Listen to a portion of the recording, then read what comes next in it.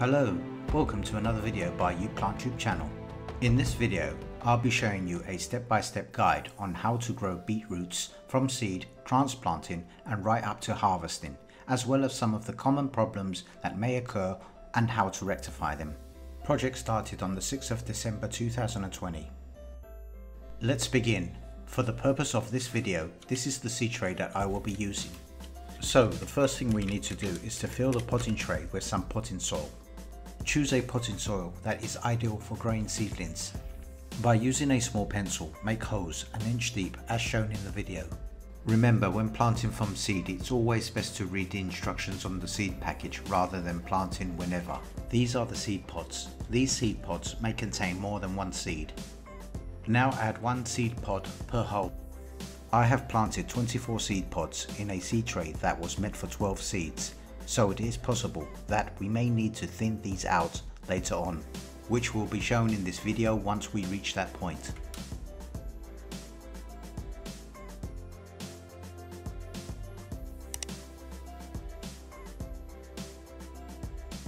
Using your finger, lightly cover the seed pods that you have just planted with some potting soil in the seed tray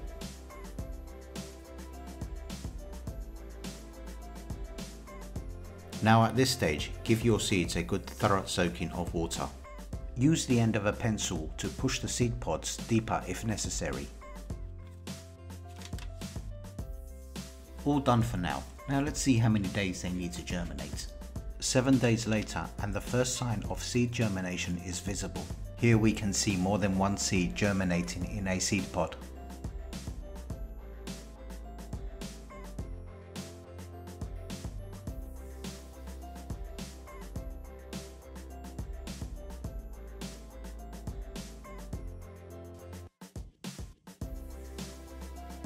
27 days later and the seedlings have outgrown their seed tray and need to be separated into individual pots. No really easy way to do this with this type of seed tray. Place the seed tray on its side while pressing the bottom part of the seed tray and letting gravity help you extract it.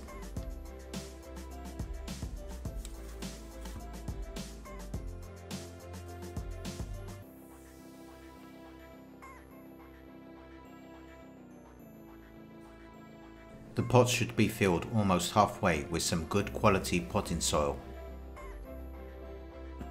Just by pinching the soil you can easily separate the seedlings without damaging the roots as shown in the video.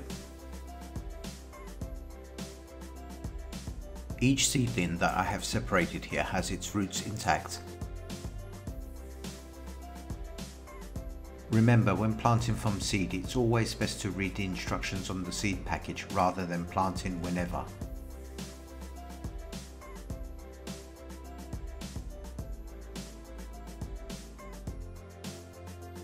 As you can see the roots are well developed.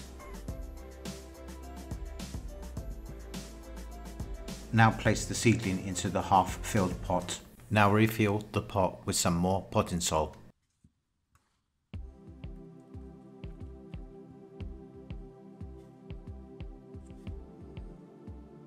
Now that we have finished transplanting, don't forget to give them a thorough watering.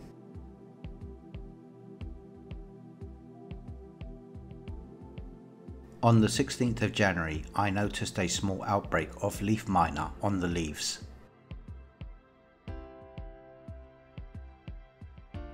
A leaf miner is any numerous species of insects in which the larva stage lives in and eats the leaf tissue of the plant. The vast majority of leaf miners insects are moths and sawfly.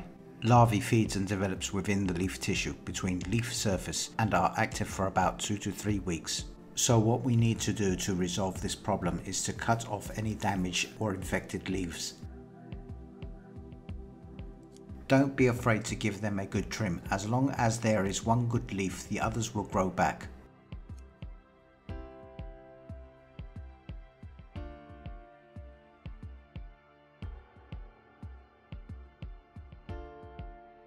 Once again, the seedlings have outgrown their pots and need to be transplanted into larger pots. By doing this, you have a more established seedling to plant in its final destination. Once again, fill the pot halfway Turn the pot upside down and place two fingers in between the seedling and with your other hand tap lightly as shown in the video to extract the plant. A nicely well developed root system. Now add to the larger pot and refill with additional soil.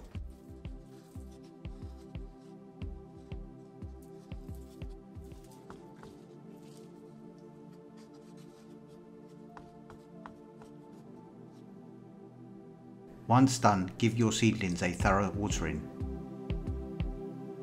Several days later and new leaves have grown. So here we are once again ready to transplant them into their final destination, into a raised planter box. These seedlings are now more well developed and more suitable to be exposed to the outside elements.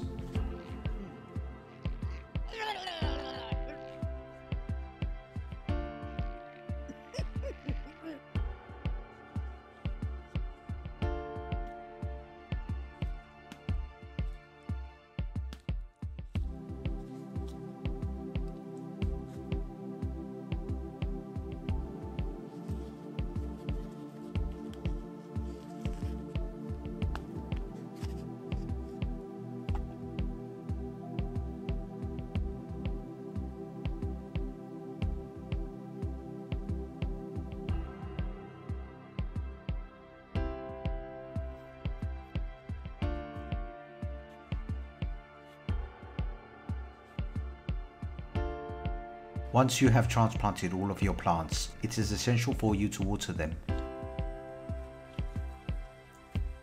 Now that most of the hard work has been done, it is only a matter of time before they are ready for harvesting.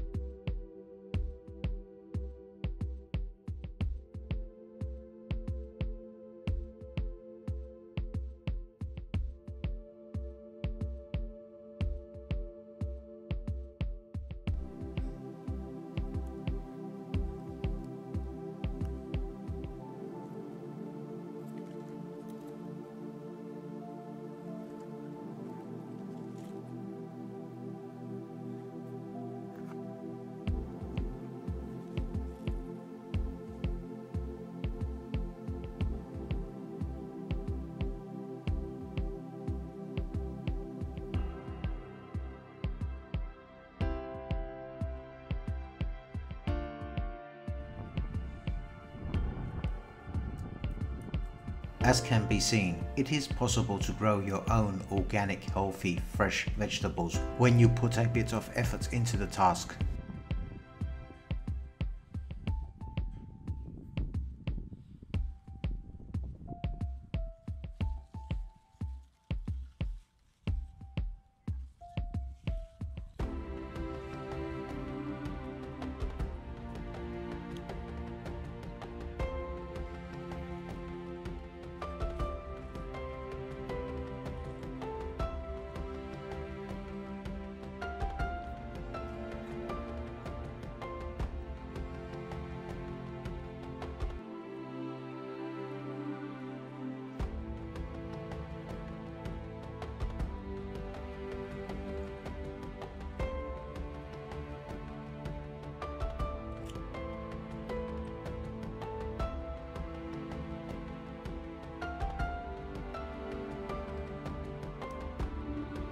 Feel free to ask me any questions related to the video in the comment section below. I hope you have found this video of interest and consider subscribing if you have not already done so. Also, I would appreciate if you hit that like button. Thanks for watching.